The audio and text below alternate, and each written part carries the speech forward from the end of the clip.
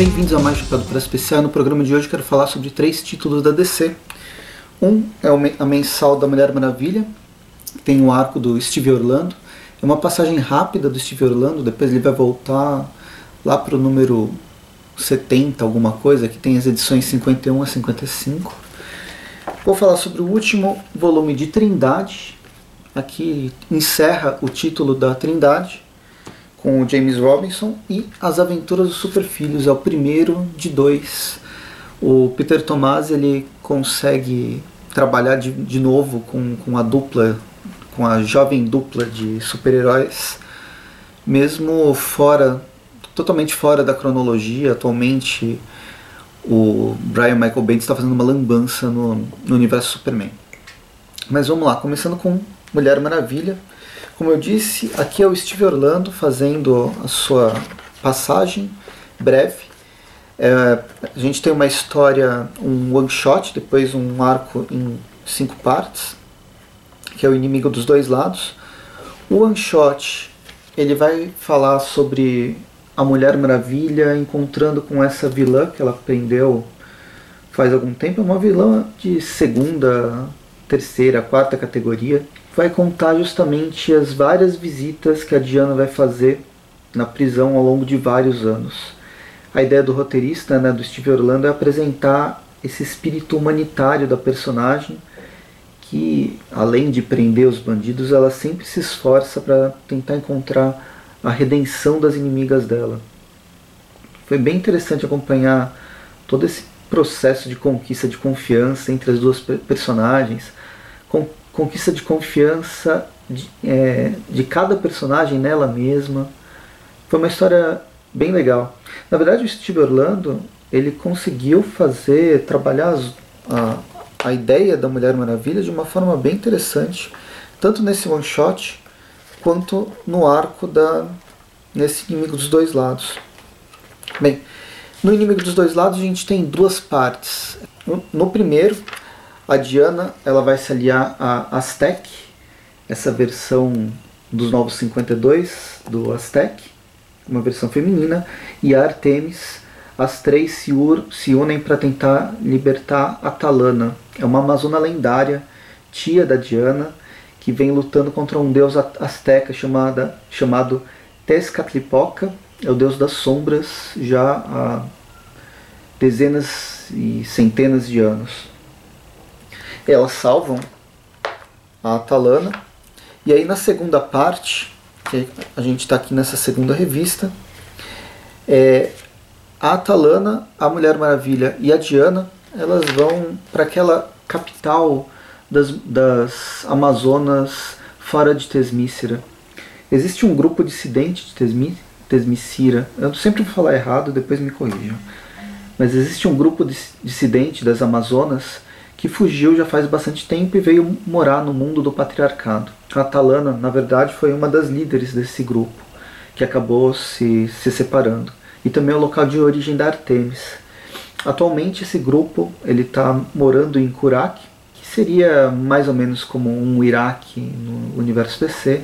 E aqui a gente vê a, essas Amazonas entrando em conflito armado com os Kurakianos. E a Diana vai fazer de tudo para tentar que esse conflito aconteça de verdade, entre em guerra, ela é quase um espírito, uma arauta da paz, lutando para evitar qualquer conflito desnecessário.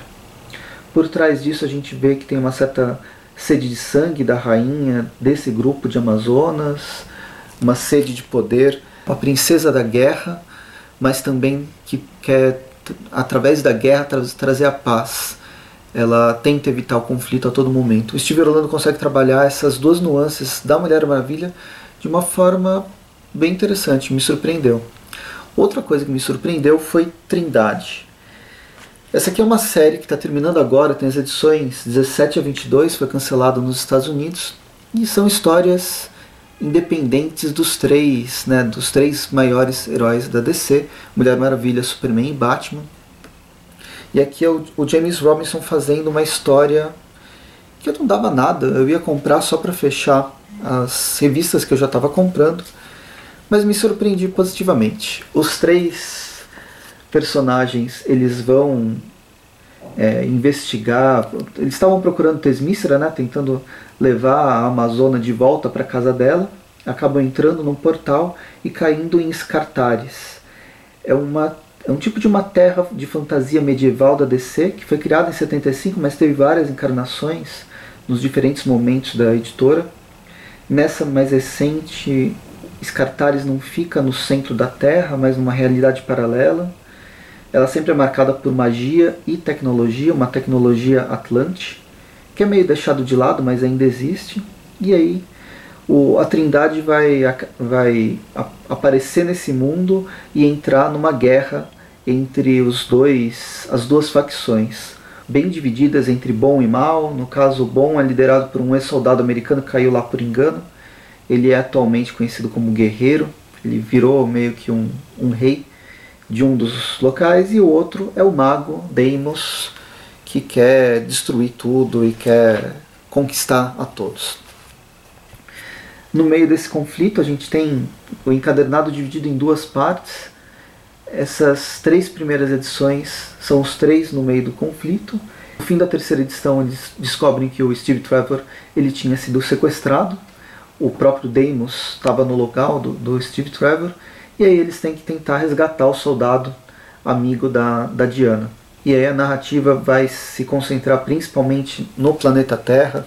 Tem uma divisão bem interessante, a forma como eles trabalham, pelo menos a primeira edição, de separar, de fragmentar a narrativa, mas mesmo que fragmentada, ela está in, intensamente interligada com os três personagens, cada um resolvendo um mistério em uma parte do mundo, mas conversando constantemente através dessa tecnologia quase fantástica de comunicação do Batman.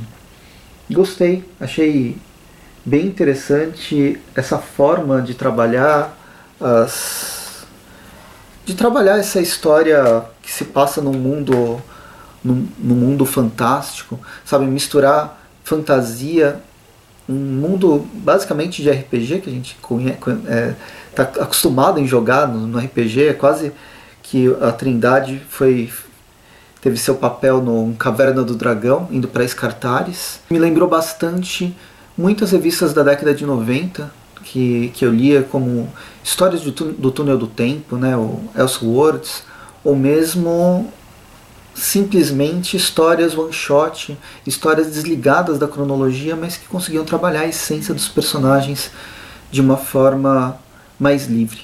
Gostei bastante de Trindade também. Ela é bem divertida. E outra revista divertida, esse vídeo, todas as revistas eu gostei bastante, é As Aventuras do Superfilho. Dos Superfilhos.